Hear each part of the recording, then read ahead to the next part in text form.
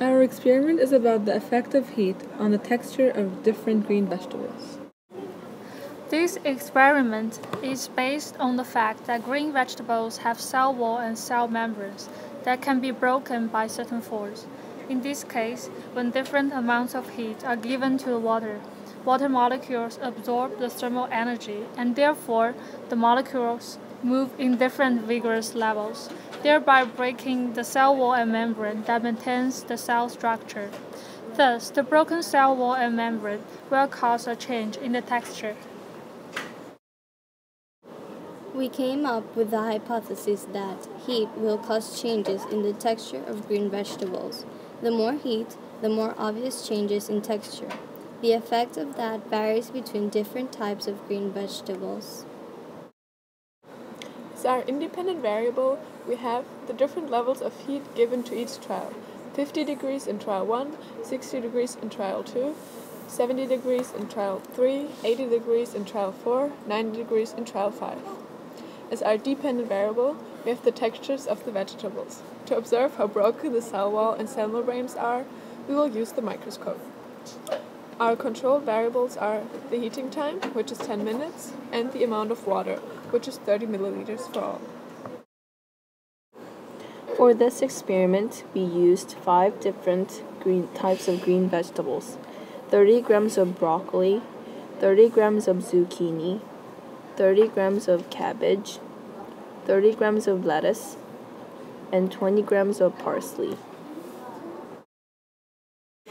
So here's the procedure. Step 1. Select a green vegetable. Step 2. Choose 5 beakers and label them as a abbreviative name of the selecting vegetable number of child, trail. For example, Brock 1, Brock 2, Brock 3, Brock 4, Brock 5 for broccoli. Step 3. Cut 5 pieces of the leaves of the vegetable before heating and put them on slides under the microscope. Step 4. Use knives to cut the leaves of the vegetable into 5 30 gram pieces and put them in 5 beakers. Step 5. Pour 300 milliliters of water into every beaker. Step 6. Turn on the heaters to different power levels and when the temperature reaches 50, 60, 70, 80, and 90 Celsius, put the numbers 1 to 5 beakers in their corresponding heaters. Step 7. After 10 minutes, turn off all heaters and take all the beakers out immediately. Step 8. Use tweezers to pick up one small piece of vegetable from each beaker. Step 9.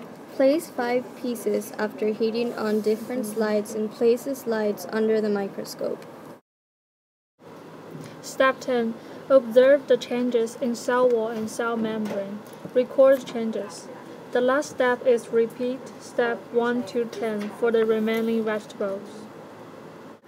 During this experiment, we observed the different green vegetables through the microscope before and after exposing them to heat.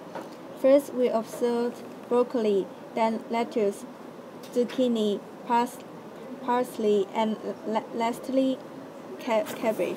According to the observations that we made, heat has an effect on the texture of green vegetables, and such effect varies depending on the types of vegetables. The most noticeable change happened in the cabbage trials. We noticed that as the temperature increases, the molecules in the cabbage move more vigorously and in different directions, and so in the microscope pictures they are more spread out. Thus, we can conclude that the cell structure breaks when exposed to high temperatures. Although the microscope pictures of the of the other vegetables do not show the same result, in all five vegetables there is one thing in common. That is the spread out and expansions of molecules.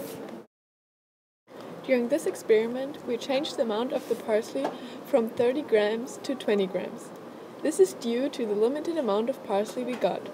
This affected our data, because it changed the relationship between the amount of water and vegetables.